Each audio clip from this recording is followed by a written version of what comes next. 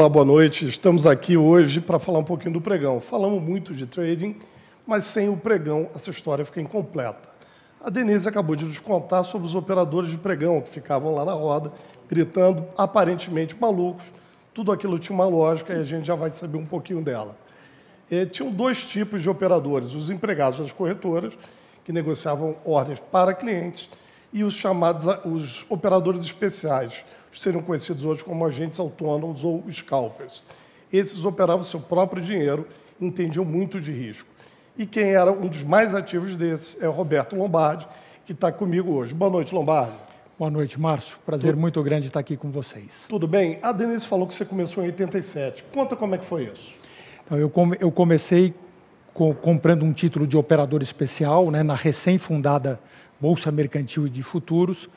E o operador especial que você comentou, era uma pessoa física que tinha autorização para frequentar o pregão e operar para si. A BMF ela foi constituída nos, nos modelos da Bolsa de Chicago. E essa pessoa física para frequentar o pregão era um dos principais agentes para fomentar a liquidez. Então eu diria que o operador especial ele foi muito importante desde o surgimento da Bolsa né, até o seu final do pregão Viva Voz, justamente para prover a liquidez necessária para todos os contratos. E a gente que, enfim, o pessoal de cabelo branco, que já trabalhou muito tempo no buy side, ou seja, operando posições próprias ou próprias de uma empresa, ficava ligado com o pregão e acostumava muito a ouvir os nomes, não só das corretoras, mas também dos scalpers ou operadores autônomos. E um dos nomes mais ouvidos, sem dúvida, era Lombardi. Lombardi, conta um pouquinho como, como era a sua técnica de trading, você ficava muito tempo com posição, você fazia posições grandes. Tenta passar um pouquinho da tua experiência para a gente. É, Márcio, acho que a gente vai falar um pouquinho ao longo do nosso bate-papo, né?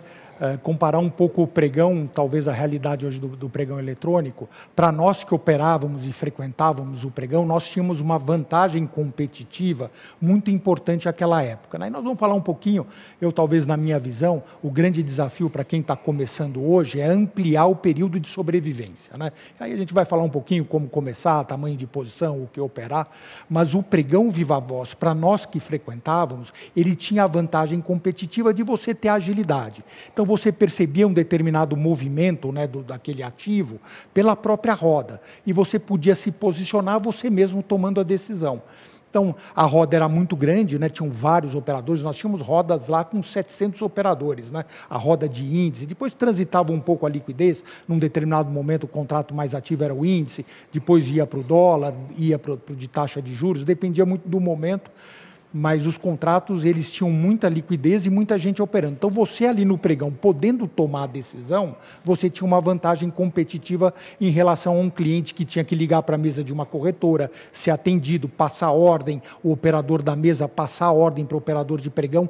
Todo esse tempo de execução tirava uma vantagem competitiva de quem estava à distância. Então nós tínhamos essa agilidade que era muito importante. E o nosso foco era fazer operações curtíssimas, né, day trades rapidíssimos, eu diria que de segundos, né, fazer compra e venda lá aproveitando a agilidade e procurando Uh, e, e, acho que esse é um ponto muito importante que a gente vai falar um pouquinho também, procurando acertar, tentar alongar um pouquinho, e quando a gente errava, e o pregão dava essa condição de errar e sair o mais rápido possível da posição. E esse é um conceito assim que eu sempre trouxe muito lá para todos os clientes. Né? Às vezes, mais importante de tentar identificar o movimento de alta ou baixa é como o trader se comporta quando ele está ganhando e como o trader se comporta como ele está perdendo. Eu acho que esse é um grande diferencial para o sucesso da carreira de um trader.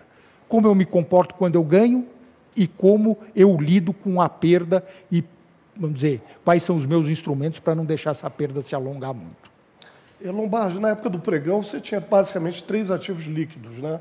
Era o dólar futuro, o índice futuro e o DI. E eu lembro que tinha alguns é, autônomos que eram especializados em um único mercado. Como é que você atuava? Atuava em um sócio, atuava em mais de um? É, eu, eu, procurava o um mercado que tinha, vamos dizer, mais liquidez e mais volatilidade, que eu acho que são dois indicadores importantes para a gente selecionar um ativo para operar.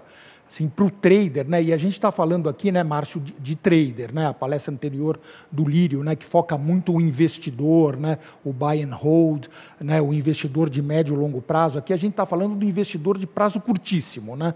Uh, então eu acho que é muito importante escolher ativos que tenham volatilidade e que tenham liquidez, para que você possa entrar e sair a todo momento. Se acertar, né? Você tem liquidez para alongar um pouquinho, mas especialmente se você errar, tentar cair fora o mais rápido possível.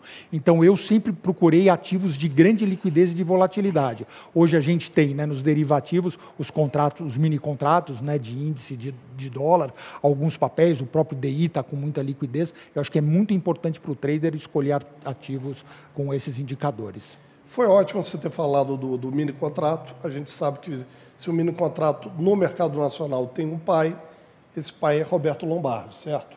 E conta um pouquinho o que, que te motivou a fazer isso, o porquê, e aí se conta um pouquinho da trajetória de sucesso que hoje os, os mini contratos eles são muito mais líquidos que os contratos grandes, não só em número de contratos, mas em volume total financeiro é, é, operado ali. Conta para gente, por favor, Lombardi. Então, Márcio, a gente está hoje aqui, né, é um motivo de satisfação muito grande, né, porque a gente vê o crescimento do mercado, o número de pessoas físicas né, que esse mercado agregou. Eh, trouxe para participar. Na nossa época, pô, a gente tinha, no total, entre 250 e 300, 300 mil investidores pessoa física e o grande número, a, a, grande participação desses investidores era em posição de ações e não em trade. Então, o número de traders era muito pequeno. E um dos principais motivos naquela época é que os contratos eles eram muito grandes. Para você ter uma ideia, o contrato de 100 mil dólares, à época, ali nos anos 80, 90, no surgimento da Bolsa, o tamanho do contrato era 100 mil dólares. E você, no mínimo, tinha que operar cinco contratos. Você não podia operar três, quatro. Você operava 500 mil dólares de posição toda vez que você entrava no mercado. E o multiplicador do índice não era um, era três. E você também não podia fracionar. Então você imagina o, o, o, o trader começando, tendo que entrar numa operação de valor de 500 mil dólares, com aquela oscilação, ele tinha uma alternativa, que era acertar. Porque se ele não acertasse, ele quebrava e saía do mercado na primeira operação.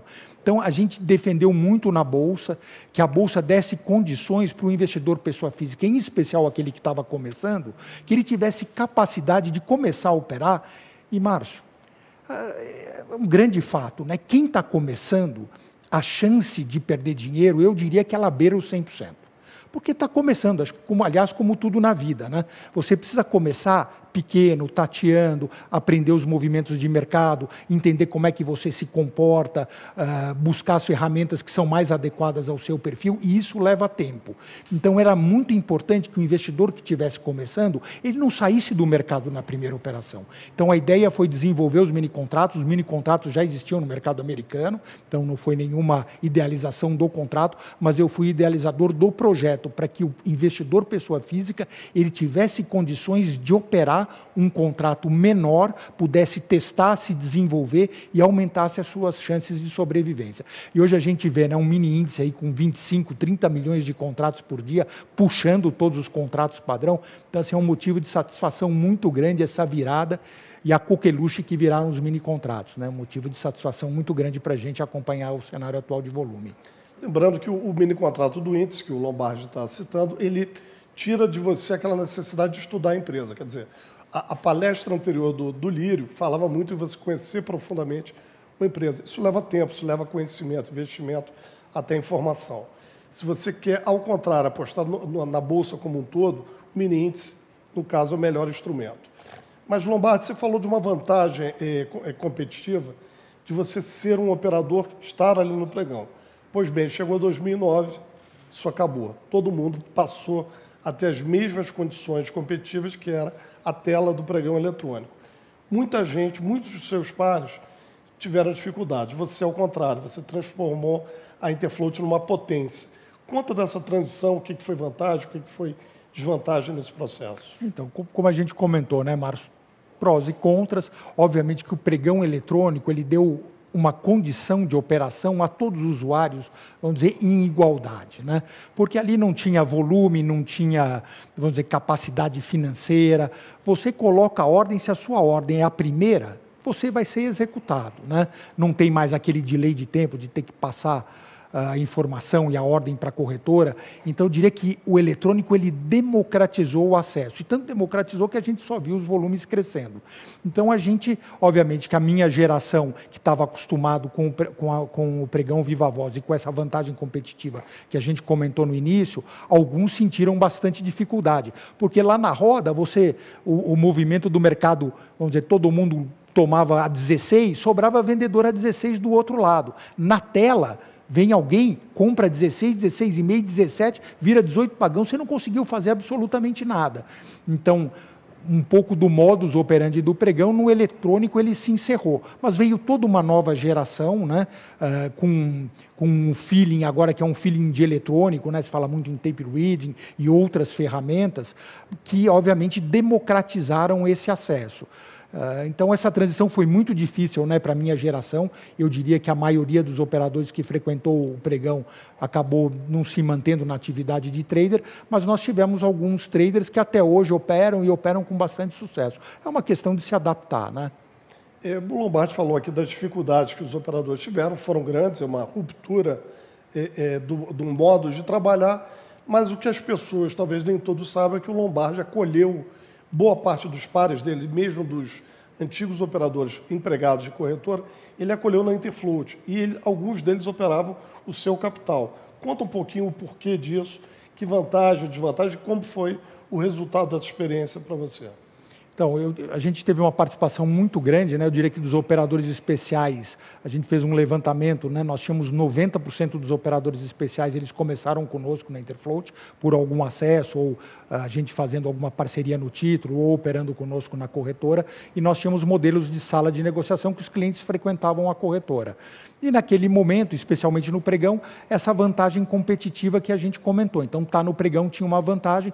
Então, nós incentivamos muitos operadores de corretora a deixarem de ser funcionários de corretora e experimentarem a atividade de trader no pregão e fomentamos também muito, muitos deles no, nas nossas salas de negociação.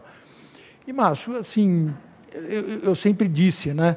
Uh, na atividade de trading, tem algumas características assim muito particulares, né? Eu diria que você pode, às vezes, estar operando um ativo, isso eu vi muito, que depende muito da capacidade pessoal de cada um. Às vezes, nós tínhamos alguns traders nas nossas salas de negociação, que se você perguntasse o que ele estava esperando, para ele tecnicamente falar sobre o contrato, provavelmente ele nem sabia direito o que ele estava operando. Mas ele era um fenômeno, né? ele era um fenômeno de, de vamos dizer, de disciplina, de técnica, eh, de estrutura operacional e ganhava muito dinheiro operando. Então, talvez a formação acadêmica ou a condição técnica dele fosse um pouco mais frágil, mas ele conseguiu desenvolver uma técnica operacional que era suficiente para que ele se desempenhasse bem no trading. Você falou da, da, enfim, das vantagens do pregão, novamente, vamos falar um pouquinho dessa transição. Primeiro, uma pergunta curta. Você, quando passou para o eletrônico, você mudou, ampliou sua gama de ativos ou você seguiu no dólar, DI e, e índice, no caso, minis, no é. caso. Eu acho que assim, o Lírio no anterior comentou, né? Escolha um papel, foque em menos ativos na questão de investimento. No trade, então, nem se fala, né, Márcio? Porque você precisa e, e, volto a insistir, nós estamos falando de trading, não de investimento.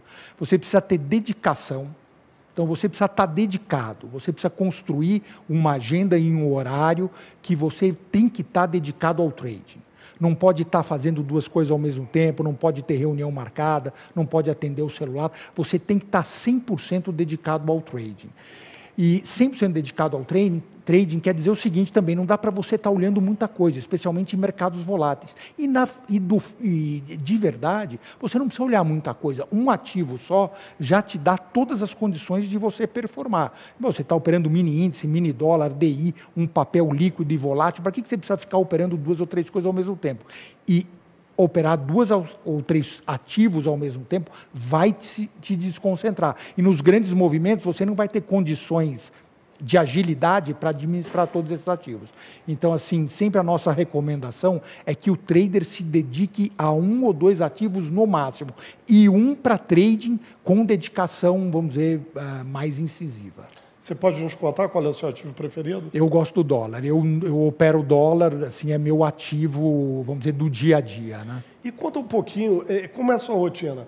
Você lê notícias ou você só foca naquele movimento do ativo? Como é que começa e termina o teu dia? É. Então, uh, eu, tenho um, padrão, né? Eu, eu, gosto muito de dar uma olhada nas notícias, né? O que, que, aconte, o que, que, tá, o que, que aconteceu no overnight, quais são os principais indicadores. Eu acho que para o trader é muito importante ele ter uma noção da agenda na semana. Então, quais são os indicadores, quais são os eventos. Uh, também se tem vencimento de índice, vencimento de opções, porque às vezes a agenda ela impacta muito no movimento dos ativos. Então é muito importante você ter essa noção de agenda, você ter uma noção dos indicadores no dia, para não estar tá com uma posição um pouco exagerada, muito próximo de um indicador, e o indicador às vezes é uma loteria, você está com uma posição muito grande, você pode acertar, mas você pode errar. Então acho que você precisa tomar sempre muito cuidado para não ter posições muito relevantes próximo de indicadores. E eu gosto muito de análise técnica, acho que assim a análise técnica é um indicador e um referencial importante para mim. Mas eu também tenho muito esse conceito, Márcio. Eu acho que a gente tem que estar tá sempre livre. Uh, a gente tem que estar, tá, uh, quando começa a operar, você não pode ter, vamos dizer, uma ideia pré-concebida de movimento. Isso é muito importante para o trader não se amarrar numa visão que o dólar vai subir, que a bolsa vai cair, que determinado papel, porque de fato o trader quando ele toma uma posição, o movimento do mercado pode ir para qualquer lado. Né?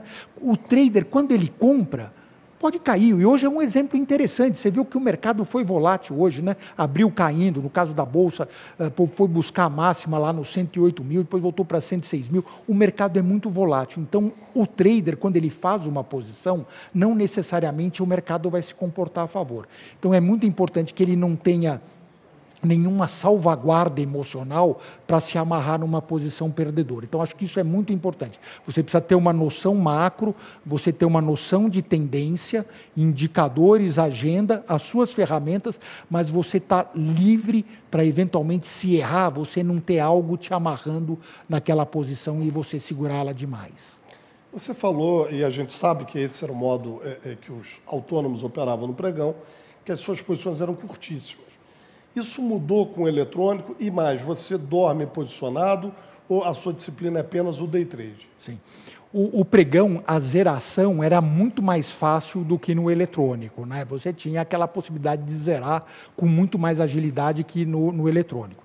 Então eu diria que o eletrônico eu alonguei um pouco o, os meus day trades, né? Uh, tem, tem que alongar no ganho também, para você poder alongar um pouco mais a perda. Né?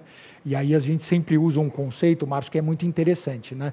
Na nossa vida tem dois sentimentos que são muito positivos, né? a esperança e o medo. Né? O medo te evita de fazer loucuras, né? de tomar decisões muito precipitadas, e a esperança é muito positiva também, né? a esperança de dias melhores, que as coisas vão caminhar bem. No nosso mercado, são dois sentimentos extremamente negativos que prejudicam o trader. É a esperança de estar certo quando ele está errado, e o medo de estar tá errado quando ele está certo. Então ele tem boas posições, era muito cedo, e tem posições ruins, que o prejuízo só aumenta, ele está na esperança de reverter esse prejuízo em algum momento. Então a gente precisa tomar muito cuidado, o trading é muito particular e a gente precisa estar tá sempre reavaliando esses conceitos. Né?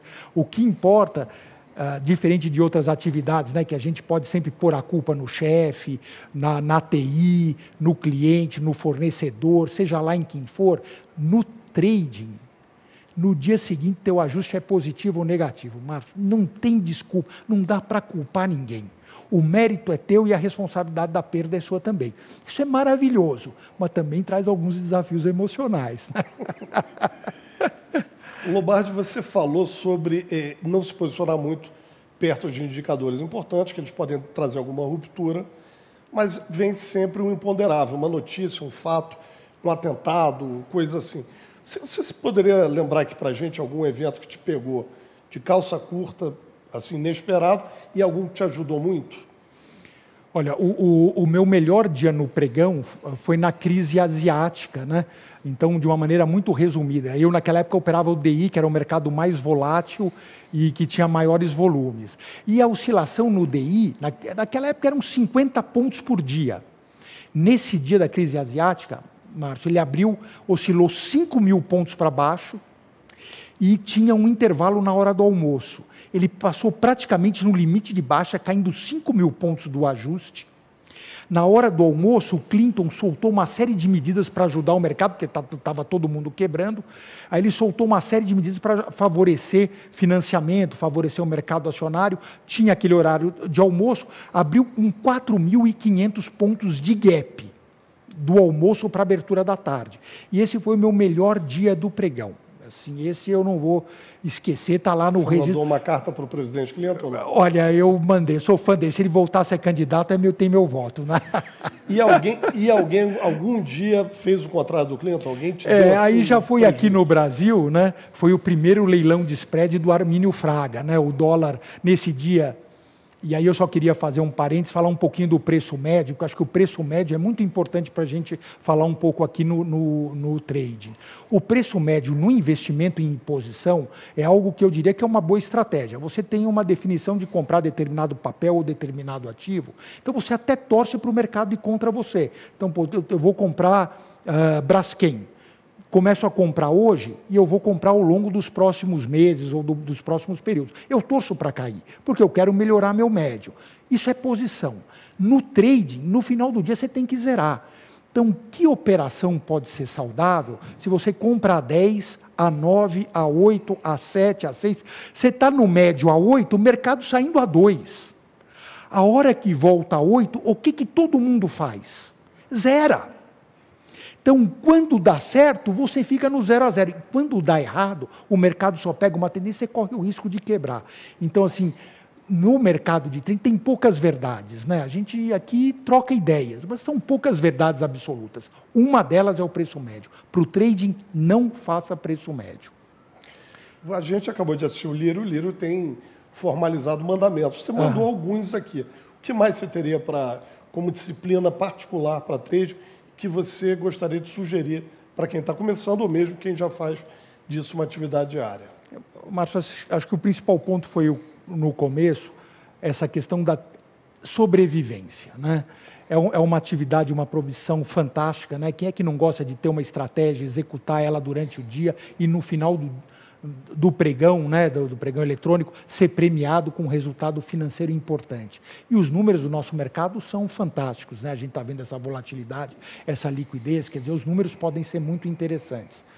Uh, então, a minha recomendação é que o trader ele tente ampliar suas possibilidades de sobrevivência, especialmente para quem está começando. Comece pequeno. Quanto menor a posição, mais agilidade você tem para zerar quando você errar. Se a posição é muito grande, você começa a olhar o financeiro e fala, pelo amor de Deus, putz, agora eu não posso zerar porque o prejuízo está muito grande. O que, que vai acontecer? O prejuízo só vai aumentar. Então, uma das minhas recomendações é escolha ativos, que nós falamos no começo, com liquidez, volatilidade. Se você está começando, aliás, de fato, eu acho que operar pequeno é sempre bom, porque pequeno você tem agilidade, você não se incomoda com o resultado financeiro negativo e procura estopar e sair o mais rápido da posição. Então, opere opere pequeno e se avalie, se pergunte, o resultado mostra a sua estratégia, se o resultado não estiver sendo bom, pô, reavalie, mude um pouco o formato das suas operações, porque o resultado, de fato, demonstra se a sua estratégia está sendo vencedora ou perdedora. E a despeito de estar tá aqui, né, nessa satisfação que eu comento, né, de estar tá um, num evento de trading, vendo, vamos dizer, esse crescimento exponencial de traders aqui no Brasil, o fato que algo não mudou, Márcio, desde o começo. É muito difícil essa profissão. Assim, da grande maioria dos traders que começa, eles encerram essa atividade num período muito curto. Então, esse desafio dessa profissão, ele continua muito grande. Então, a minha recomendação é que sempre se tome muito cuidado, procure aprender, procure participar, busque uma boa corretora, uma corretora né, preocupada com a performance do cliente, como a gente tem visto, né, o próprio caso da Genial, que se importa, vamos dizer, com a performance e com a durabilidade do cliente. Então, isso é muito importante.